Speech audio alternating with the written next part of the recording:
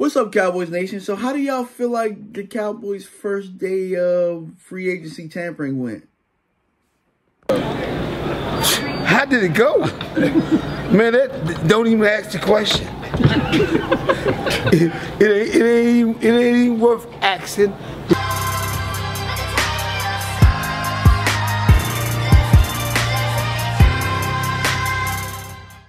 Yeah, man, and I'm not here so much to criticize what's going on.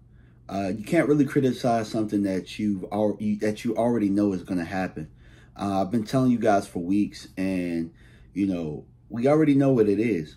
They're not going to spend the money. Um, the only way that Dallas spends money, they really handle their budget as, as as regular common folk handle their budget in the NFL this is what they do. When they're getting ready to make a move, they trigger somebody's contract and they let everybody know that they're getting ready to make something happen. Right now, the Cowboys are $2 million over the cap, right? So you hear things like, we're going to spend within our means or we were going to make this deal happen, but, you know, looking at the talks, it's not within our means. Like, they're penny pinching, penny pinching, penny pinching, when they don't really have to do that they really could just go out, make some deals happen, or they could have over over the long haul. I mean, earlier, they could have made some deals happen, some extensions happen, and then they could have some money to go out here and, and do that. They don't want to do it. They don't want to do anything that's going to make them uncomfortable. You know, um, they have not done anything different to prove that they're a team that's trying to win the championship. There's not anything that anybody out here who wants to defend these guys can convince me otherwise. Sure, do, did they need to be a big spender on day one? No, they didn't.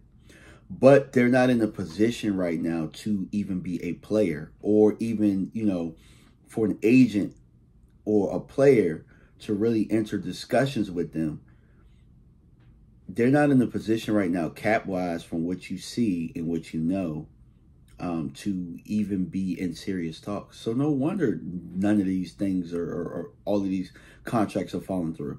Now, this is one contract that I'll say where this is a player that I felt they, that this deal made a lot of sense. The Jacobs deal, where he signed a four-year, $48 million deal, $12.5 million guaranteed. That was a favorable contract right there for top-level production for the running back position. I felt like that was doable. And, you know, I don't even think they pulled the trigger on, I don't even think that there was even a call there.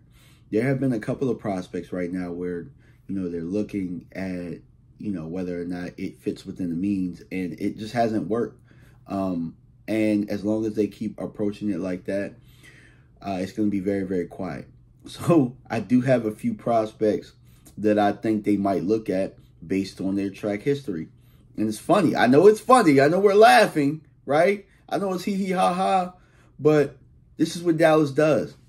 This is a Dallas free agent special right now, and I'm giving you a class 101. The person coming off of injury, right? They like the people coming off injury who feel like they have to prove something to everybody else and will take a prove it deal. They like the ex first round players, you know what I'm saying, who were on their boards you know, who have something to prove because they didn't have as much success somewhere else. You know what I'm saying? They like guys that are versatile. You know, uh, you know, maybe a special teamer that can, you know, fill in a role at linebacker or something like that. You know, I'm just thinking off the top of the head. But everything is predicated on budget, not production. You know what I'm saying? They look at budget first, production second. You know what I'm saying? And don't I mean, um, Jake Ferguson put it up there. You know I'm saying? A privilege to be a Dallas Cowboy. And that's how they're approaching free agency. You know, as if it's a privilege to talk to them. And, you know, as it stands, we are worse than where we left it last year. We, we lost a couple of guys. We lost Dorance Armstrong. We lost Tyler Biadasz. Um, obviously, Tyron Smith is gone.